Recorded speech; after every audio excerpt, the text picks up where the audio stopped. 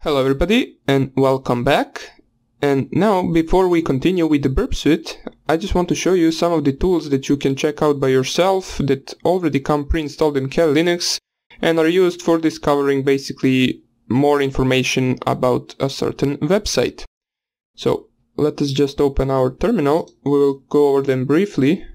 There's only two tools and then we will continue after that to use burp suite in order to hack a web page.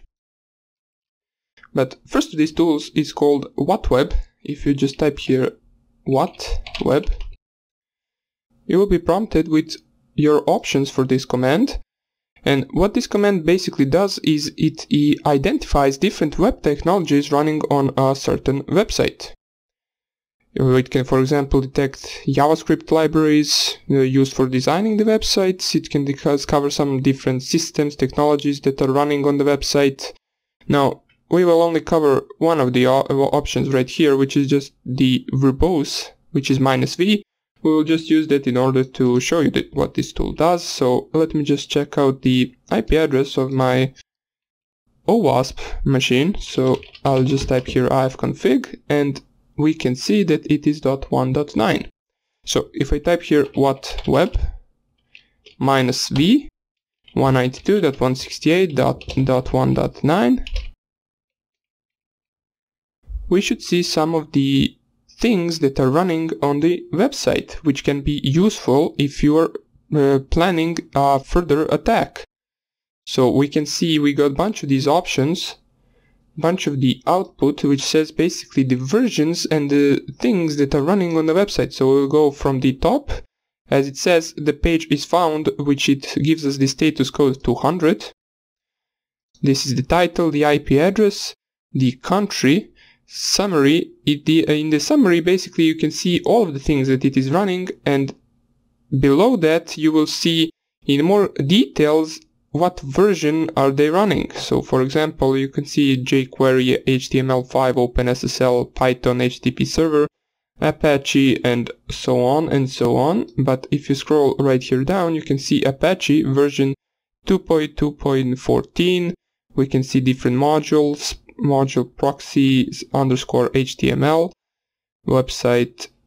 Now this is just the website of the Apache. Let me just go down. Emails. So it extracted some of the emails, I believe.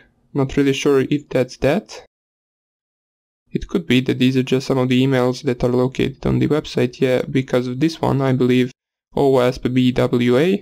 It basically just found some email on the website, HTML, 5, HTTP server, jQuery, OpenSSL, PHP, we can see the version, passenger, Perl, Python, script, and so on. So these are just some of the useful information you can find out about a certain website. For example, if you find out that it uses JavaScript, you can possibly try to plan out a cross-site scripting attack or something like that. Now that's just the first tool that I wanted to show you. We won't be covering it in details, so let us just go on to the next one right away. And the next tool would be dirb. So just type in your terminal dirb and you will get the available options for this tool.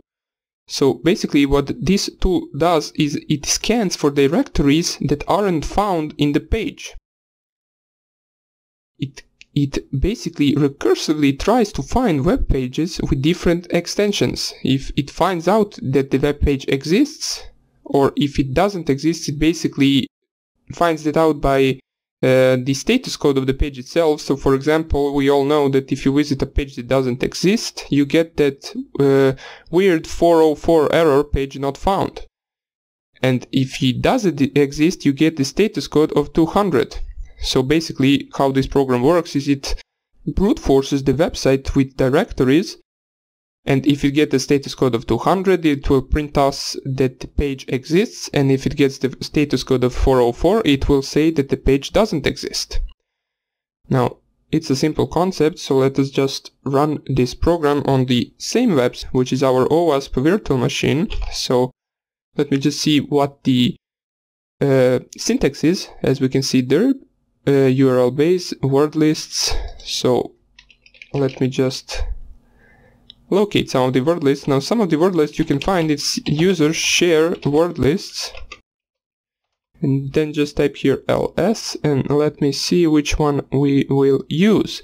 Let me go to Metasploit since there are a bunch of other word lists as we can see right here and let me see if there is any word list that could be useful for us for this specific for this specific attack which is basically brute forcing the directories in order to find some of the directories that aren't on the website. So let me just see right here. I can't seem to find any directory.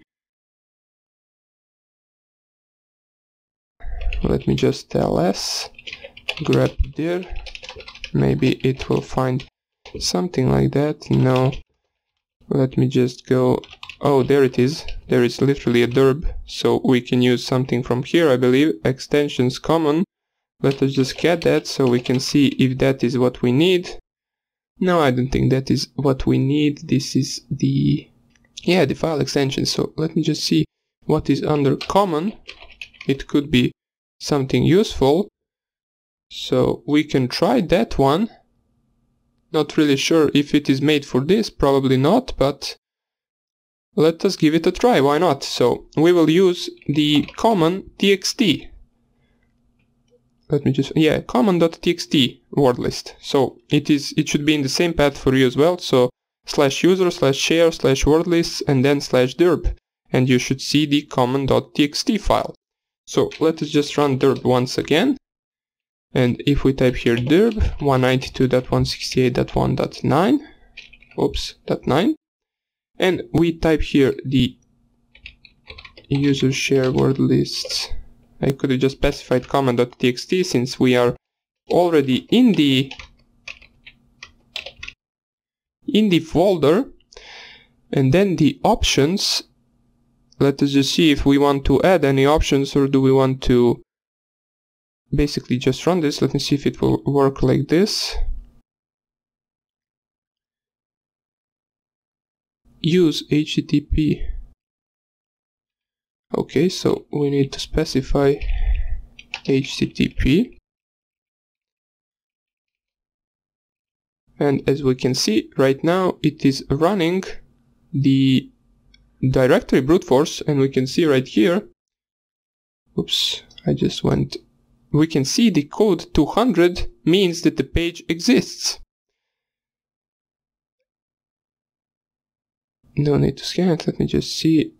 Code 500 okay code 200 200 all of these 200 pages do exist so we can prove that. Let us just use any page that was code 200 for example this one. We can copy the URL and let us go open our Firefox Now, the reason why I'm showing you this attack is because some of the websites can configure to have uh, available web pages with basically usernames and passwords. So